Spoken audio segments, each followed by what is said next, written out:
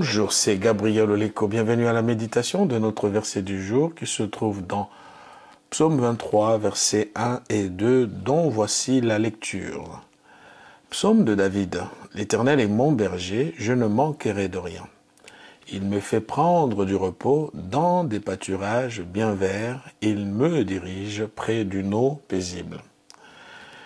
Une prise en charge est le fait d'assumer une responsabilité envers une personne, un objet ou une situation.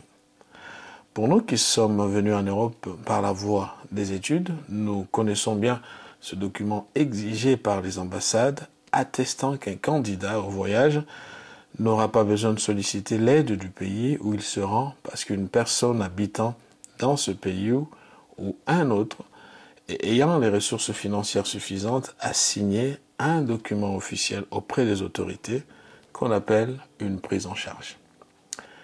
Mais nous savons aussi qu'il arrive malheureusement dans certains cas que le garant défaille d'une manière ou d'une autre, car nul n'est à l'abri de l'imprévu ou des accidents de la vie.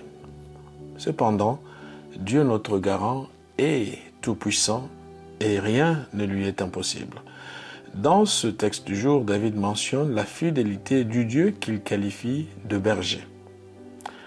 Ce qu'on attend d'un berger, c'est qu'il puisse nourrir, protéger et diriger son troupeau.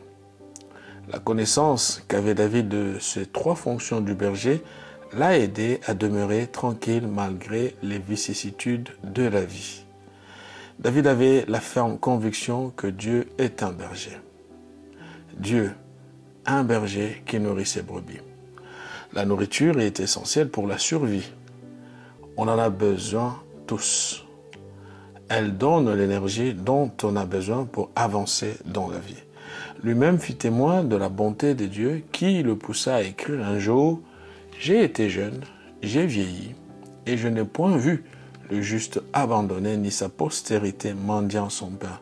Toujours il est compatissant et il prête sa postérité et bénie. Ma sœur, mon frère, toi qui m'écoutes en ce moment, laisse-moi te dire, Dieu prend soin de ses enfants. Il pourvoit leurs besoins. Tu peux lui faire confiance. Ton avenir est dans ses mains d'amour.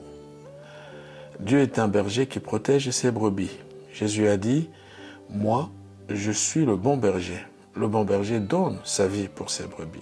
Oui, nous avons un berger qui donne sa vie pour ses brebis comme un acte suprême de protection qu'il leur offre. Nous appartenons à un berger qui nous garde fidèlement et personne ne peut nous ravir de ses mains.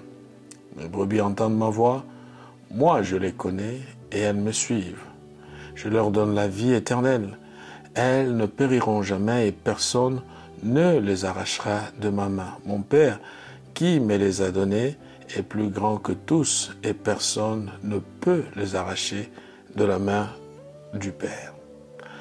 Dieu est un berger qui dirige les pas de ses enfants. La direction est une chose tant recherchée par tous les humains. Face au brouillard de la vie, lorsque tout semble obscur, incertain, on a besoin d'une direction.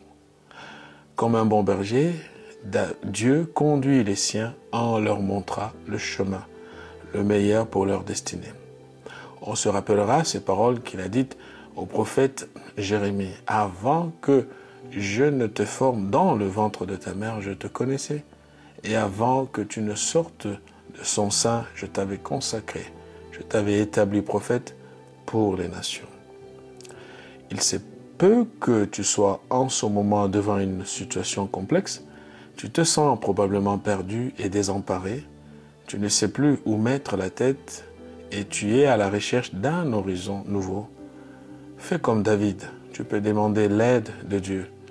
Il deviendra pour toi comme il a été pour David, un berger fidèle à tous égards. Passe une bonne journée et que Dieu te bénisse.